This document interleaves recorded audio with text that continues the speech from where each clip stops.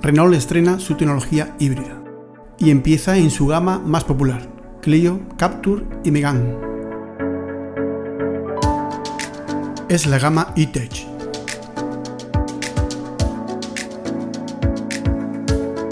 Renault ofrece dos soluciones híbridas. Un vehículo híbrido y un vehículo híbrido enchufable. Vamos a conocer cada sistema y sus diferencias. Las dos versiones comparten el mismo motor híbrido, pero el híbrido en Clio aporta 140 caballos y en Captur y Megane enchufable 160 caballos de potencia, combinando gasolina y eléctrico.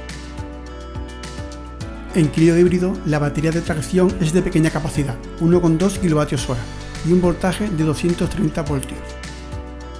Con esa capacidad se consigue una autonomía eléctrica de 4 km en ciudad, la batería del híbrido enchufable es de mayor tamaño, 9,8 kW a la hora, y un mayor voltaje, 400 voltios.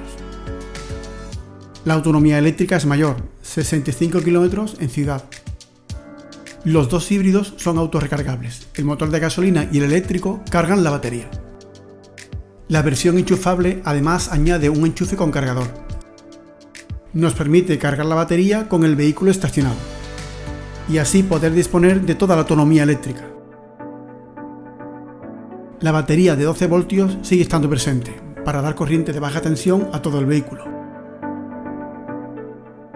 Vamos a ver ahora cada componente por separado. Comenzamos con el motor térmico.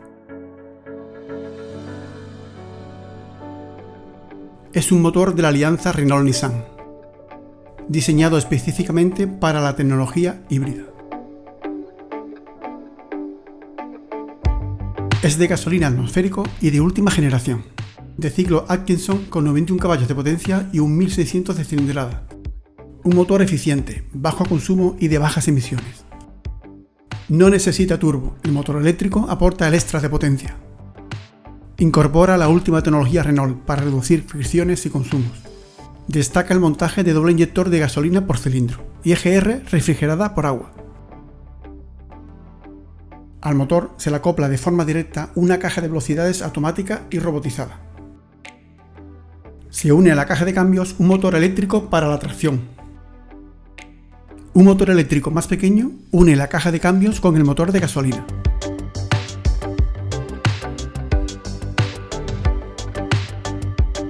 El motor eléctrico tiene una potencia de 67 caballos en Captur y Megane y 49 caballos en Clio. Funciona en modo 100% eléctrico y junto al motor en modo híbrido. Va unido directamente a la caja de velocidades. Y su función es también recargar la batería de tracción, con movimiento del motor térmico o en retenciones. El motor secundario de menor potencia aporta 20 caballos en Clio y 34 caballos en Capture y Megane. Funciona como motor de arranque y de generador para cargar la batería.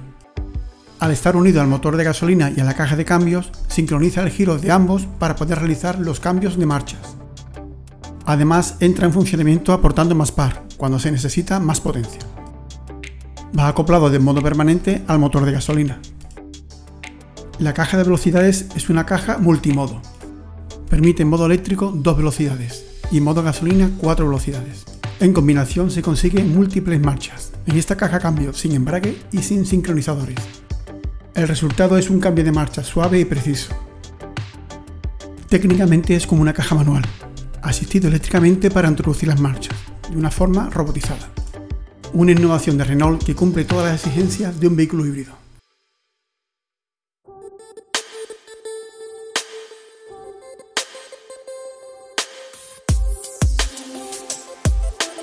La batería de tracción la fabrica LG Chem, con un peso en Clio híbrido de 37 kg y medio y va montada bajo el piso del maletero.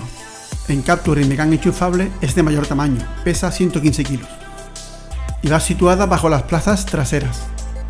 La batería del Clio híbrido es refrigerada por aire y en la versión enchufable es refrigerada por agua. Si enchufamos la batería en Capture o Megane vamos a necesitar entre 3 y 5 horas de recarga, según la potencia de la toma de carga, Renault garantiza el uso de la batería durante 8 años o 160.000 kilómetros. La alimentación de los motores eléctricos y la gestión de la carga de las baterías se realiza a través de un componente llamado conjunto convertidor. Va situado en la parte alta junto al motor de gasolina. Lo vemos fácilmente al abrir el capó por sus conexiones color naranja.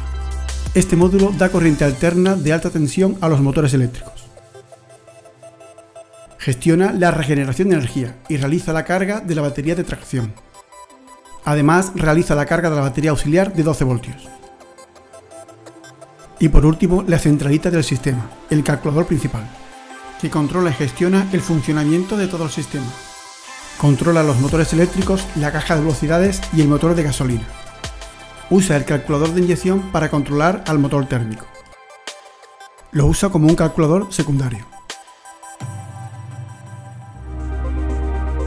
Renault, con más de 10 años de experiencia en vehículos 100% eléctricos, innova y desarrolla la ingeniosa y eficiente tecnología híbrida E-Tech.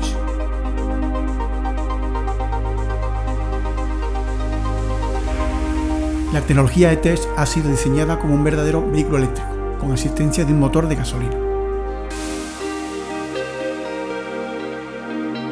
Esta tecnología se beneficia de la experiencia Renault en Fórmula 1 y de la alianza con Nissan y Mitsubishi.